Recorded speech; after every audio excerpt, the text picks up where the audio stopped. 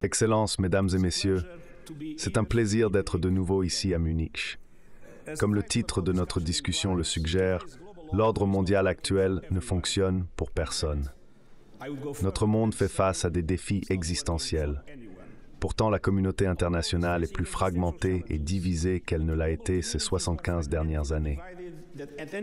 Même l'ère de la guerre froide, à certains égards, était moins dangereuse. La menace d'une guerre nucléaire était réelle et existentielle, conduisant les États-Unis et l'Union soviétique à convenir de réduction d'armement, de contrôle et d'autres mécanismes pour prévenir une destruction mutuelle assurée. Aujourd'hui, dans notre monde multipolaire, le danger nucléaire persiste. De plus, nous faisons face à deux autres menaces existentielles, la crise climatique et les risques d'une intelligence artificielle non contrôlée. Malheureusement, nous n'avons pas réussi à prendre des mesures efficaces pour relever aucun de ces défis. Alors que la multipolarité a créé des opportunités pour l'équilibre, la justice et un nouveau leadership mondial, la transition vers celle-ci sans institution mondiale forte peut conduire au chaos. institutions Les relations de pouvoir vagues augmentent les risques d'opportunisme agressif et de mésinterprétation. Actuellement, nous voyons des pays agir à leur guise, sans aucune responsabilité.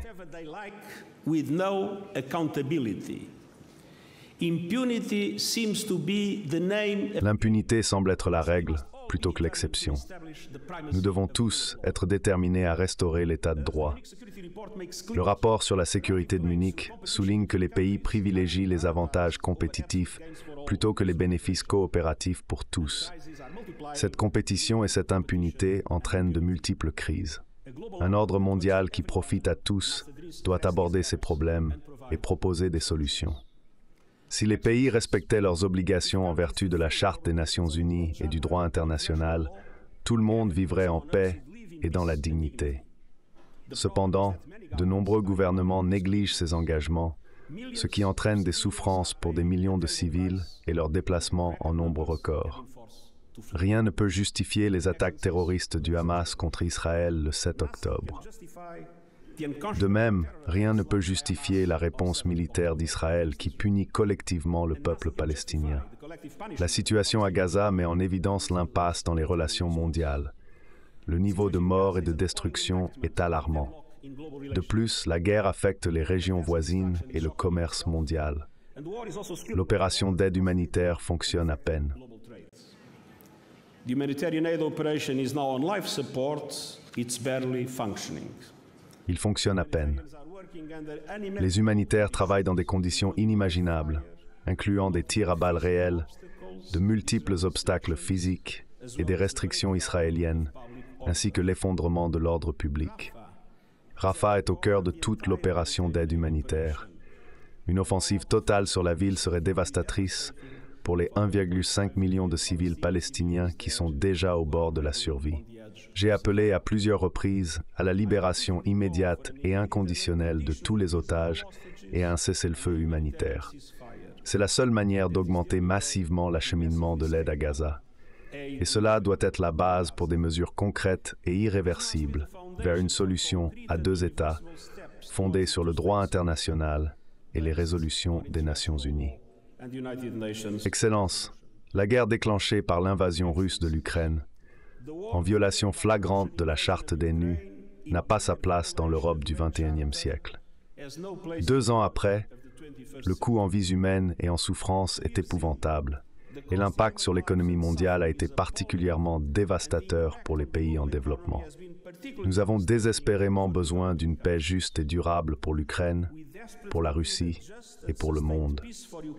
Mais une paix conforme à la charte des nus et au droit international qui établit l'obligation de respecter l'intégrité territoriale des États souverains.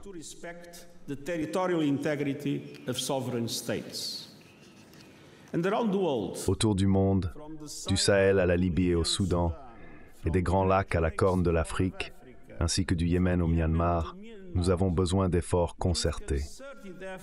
Ces efforts devraient viser à renforcer les organisations régionales et encourager les puissances mondiales à faire pression sur les parties impliquées dans les guerres.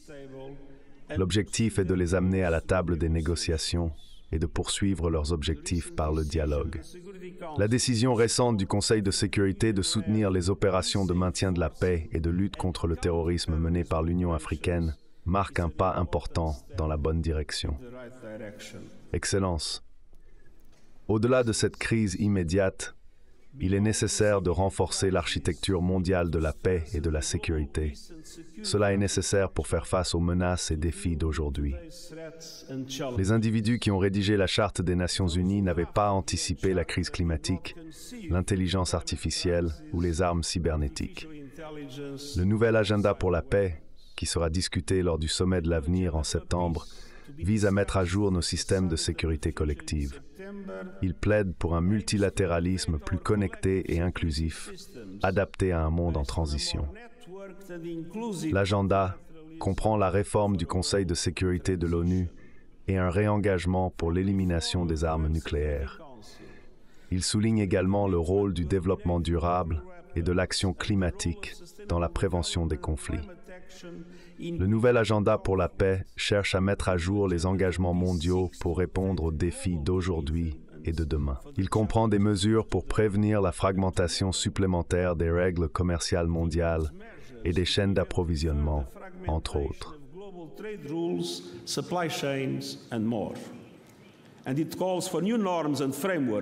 Il appelle à de nouvelles normes et cadres pour réguler les nouvelles technologies dans le domaine militaire. Les compétitions mondiales ne peuvent pas occulter les divisions que nous voyons autour de nous. Les communautés sont déchirées par les discours de haine, la discrimination et une polarisation de plus en plus profonde. Les vérités et les faits perdent tout leur sens à l'ère des deepfakes et de la désinformation. Nous assistons à une augmentation intolérable de l'antisémitisme et d'autres formes de haine religieuse et raciale. Les sociétés divisées sont faibles, où les récits extrémistes peuvent prendre racine et les tensions peuvent rapidement escalader en violence, sapant les valeurs démocratiques. Les entreprises technologiques devraient prendre leurs responsabilités et cesser de profiter de l'amplification de contenus toxiques. Nous avons besoin d'un nouvel accent sur la cohésion sociale et la sécurité de chaque individu à travers un contrat social renouvelé basé sur la justice, l'inclusion et ancré dans les droits de l'homme. Cela sera l'objet du sommet social mondial que nous accueillerons l'année prochaine. Excellence, nous arrivons maintenant au sujet de la prochaine discussion, l'économie mondiale. Tout le monde se bat pour un morceau du gâteau. Mais les mentalités à somme nulle signifient que tout le monde pourrait finir par ne rien avoir, augmentant les menaces pour la sécurité et la prospérité de tous. Nous avons besoin de paix avec justice. L'architecture financière mondiale actuelle, basée sur des cadres convenus il y a près de 80 ans, est obsolète, dysfonctionnelle et injuste.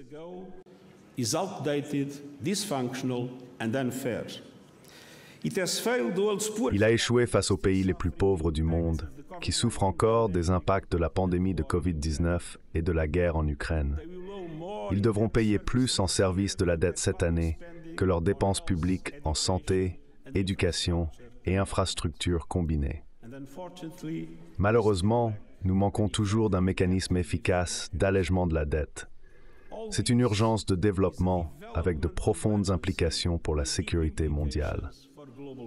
Nous avons besoin d'une action urgente dans deux domaines. D'abord, un stimulus de 500 milliards de dollars américains annuellement en financement à long terme abordable pour les pays en développement, afin d'investir dans les objectifs de développement durable, comme approuvé par l'Assemblée générale des Nations unies en septembre. Nous travaillons avec un petit groupe de chefs d'État pour en être les champions et surveiller sa mise en œuvre.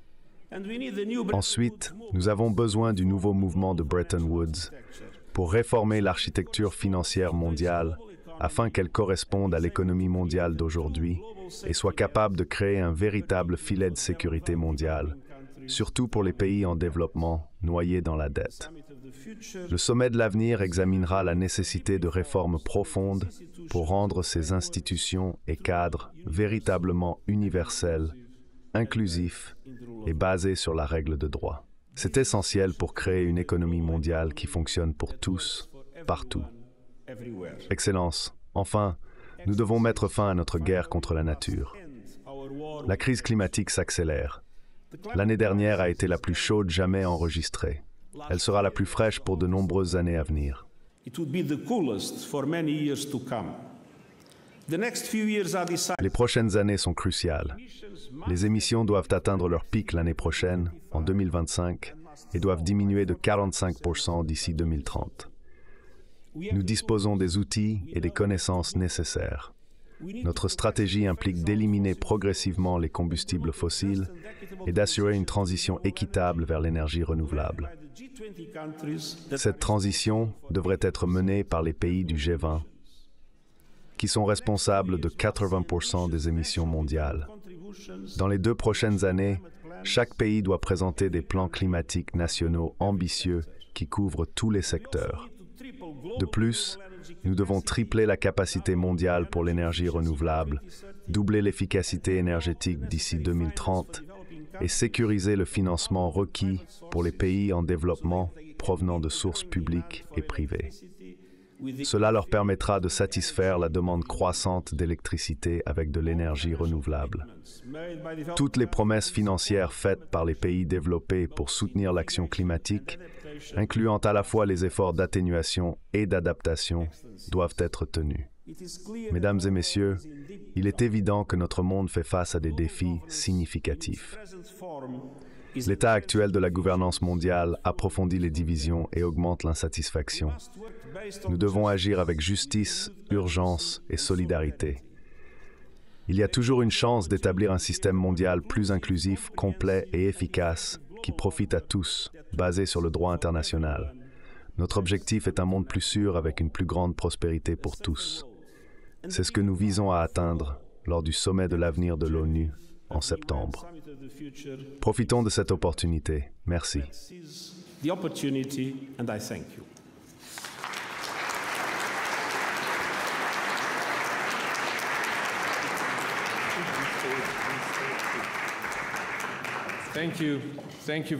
Merci. Merci beaucoup, Monsieur le Secrétaire général, pour votre discours. Je pense que tout le monde ici vous soutient pour le sommet de l'avenir, avec l'objectif d'établir un ordre mondial qui fonctionne pour tous. Je suis maintenant très heureux d'annoncer les panélistes de notre